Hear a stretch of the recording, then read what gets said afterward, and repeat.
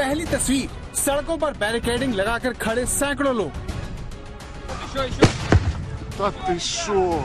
दूसरी तस्वीर लोगों के बीच एक हैंड ग्रेनेड फूटता है। तीसरी तस्वीर यूक्रेन के झंडों के साथ खड़े लोग। जब यूक्रेन बारूदी धमाकों से दहल रहा है तब इंसानी बहादुरी की एक बेमिसाल तस्वीर सामने आई है। लेकिन सवाल ये है कि आखिर ये क्या हो रहा है? हज़ारों लोग एक जगह किस मकसद से इकट्ठा हुए हैं? इस सवाल का जवाब ये है कि ये रूस की सेना का रास्ता रोकने की कोशिश है, जिसमें पहले दो टैंकर खड़े किए गए हैं। टैंकरों के आगे गाड़ियों की दीवार। फिर उसके आगे एक ट्रक की बैरिकेडिंग है। आगे कार के पास पड़े ढेर सारे टायर देखे जा सकते हैं। रेत की बोरियाँ और टायरों की दीवार बनाकर लोग इसके आसपास खड़े हुए हैं। दरअसल रूस की सेना यूक्रेन के जेपरीजिया शहर की तरफ़ बढ़ रही है जिसे रोकने के लिए शहर के लोग हाईवे पर इकट्ठा हो गए जिन्हें हटाने के लिए रूस की तरफ़ से हैंड ग्रेनेड भी फेंके गए।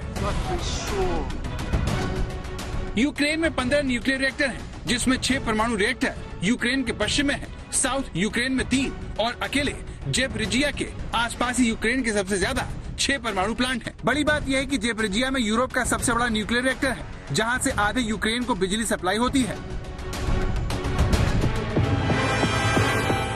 जिस तरह रूसी सेना ने बंद पड़े चेरनोबिल न्यूक्लियर प्लांट को अपने कब्जे में लिया, उसे देखते हुए पहले से ही आशंका थी कि वो यूक्रेन के दूसरे न्यूक्लियर प्लांट को भी अपने कब्जे में ले सकता है, जिसका मतलब यूक्रेन की पावर सप्लाई को अपने कंट्रोल में लेना होगा, इसीलिए रूस की सेना को रोकने के लिए यूक्रेन के लोग इकट्ठा हो गए।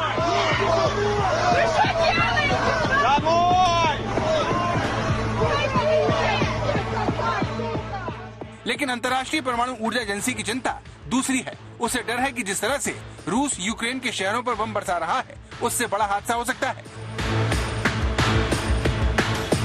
चरनीहीव की ये ताज़ा तस्वीर है, जिसमें एक रिहायशी इलाके को निशाना बनाया गया। इससे पहले चरनीहीव का एक ऑयल डिपो रूस की मिसाइल से जल उठा।